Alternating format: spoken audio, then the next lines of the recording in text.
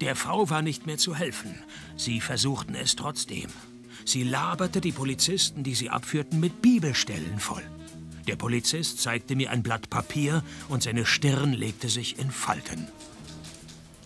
Hier steht, dass auf der Kleidung des Verletzten Lackspuren gefunden wurden, die er sich selber nicht erklären kann. Lackspuren? Moment mal, das kommt mir bekannt vor. Wieso? Sind Ihnen in diesem Fall schon einmal Lackspuren begegnet? Und wenn ja, weshalb haben Sie uns nicht davon unterrichtet, Maloney? Ich machte mich zu Fuß auf den Weg in die Autowerkstätte, bei der eine bestimmte junge Dame als Lackiererin arbeitete. Es war schon spät, aber in der Werkstatt brannte Licht. Ich trat ein und die junge Frau sah mich verblüfft an. Sie? Wollen Sie um diese Zeit etwa Ihr Fahrrad umspritzen lassen? Nein, danke. Ich möchte von Ihnen wissen, ob Sie einen Herrn Tobler kennen. Tobler? Ha, wer soll das sein? Der Geschäftspartner Ihres Freundes. Ach so, na, das ist mir egal. Im Übrigen bin ich mir nicht sicher, ob ich einen Freund habe. Weshalb haben Sie Tobler niedergestochen? Haben Sie zu viele Farbdämpfe eingeatmet oder was? Ich habe niemanden niedergestochen. Hat er herausgefunden, dass Sie hier geklaute Autos umlackieren? Hat er Sie erpresst? Blödsinn. Okay, die Wagen sind geklaut. Was soll's? Ich werde fürs Lackieren bezahlt und nicht für meine Ehrlichkeit. Wo ist das Messer? Was für ein Messer? Fehlt Ihnen auch eines? Uns ist das Brotmesser geklaut worden. Wo ist Ihr Freund jetzt? Er sagt, er wolle ins Spital. Er müsse noch etwas erledigen. Kam mir seltsam vor. Aber ich mag ihn. Vielleicht ist er tatsächlich mein Freund.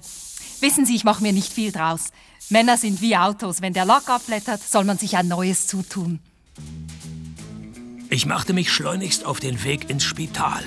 Es dauerte eine Ewigkeit, bis ich ein Taxi fand. Ich kam gerade noch rechtzeitig.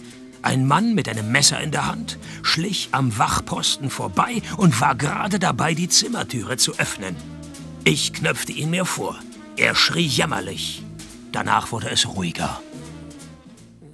Ich habe alles nur für Melanie gemacht. Ich liebe sie. Deswegen müssen Sie doch nicht gleich den Beruf wechseln und zum Metzger werden. Melanie hat Schulden. Sie war früher süchtig, heavy drauf. Jetzt ist sie clean.